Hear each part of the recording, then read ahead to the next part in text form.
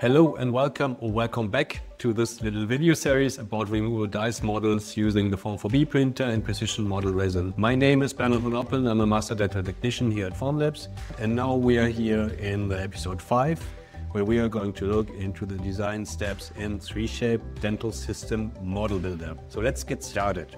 So here I have opened up my installation of 3Shape Dental System and I have a couple of files that are already designed.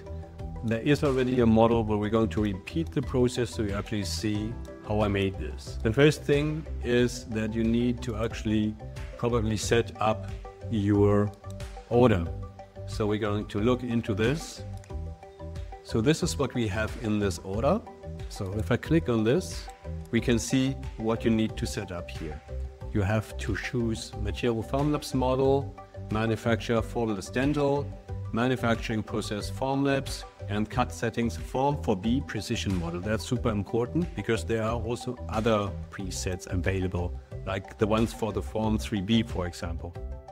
I can actually go into the model building process. I'm not going to show you all the little steps in this process. That's not a 3Shape model builder tutorial, but I'm going to show you the main points that you need to respect to have well functioning and always working removable dice models. So the first design step here, you can align your model properly, add scans, merge scans, and so on. I'm more interested in the second step because in this step, you actually can cut away parts of your scan that you don't want to have in your model. In this case, this already has been done, and this option is hidden behind trim upper jaw. And then we click next. We're going to click on this option, make the original model. In the next step, we can section our model, which is the step allowing us to define the die interfaces. A little word about these two options. Using this option means that you are using the margin line exactly how they are when you designed your restorations. And then you can also define sectioning lines, which in this case, if I'm scrolling in, would have been a little bit lower from the actual margin line that you see right here, because you can go into the soft tissue and keep all the anatomical information that is above. So here we are. This is how our dies for precision model with the Form4B look.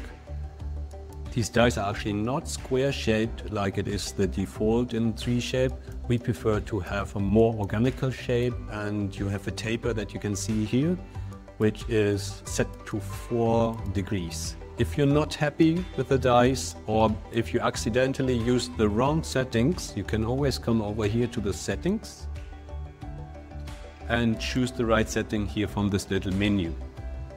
So now we can go to the next step. So in this case, we actually can add an ID tag or any labeling, or we can also use any articulator interface. I'm not going to use this right now, so I'm clicking again next.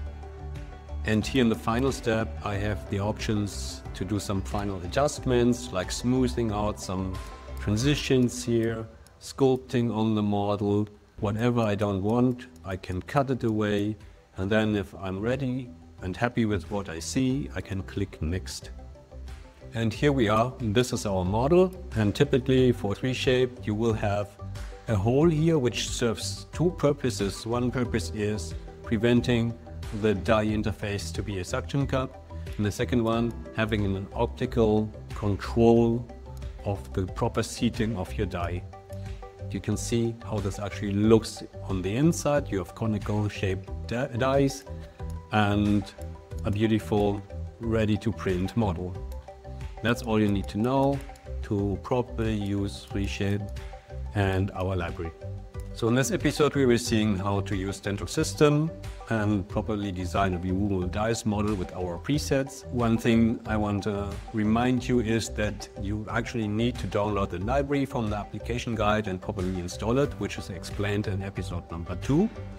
And in any case, if you see dice that look different from what you expected, always double check that you're using the right setting. Then we're all set and we can proceed to the next episode, which is how to properly set up the model that you just designed in Preform and make it ready for 3D printing.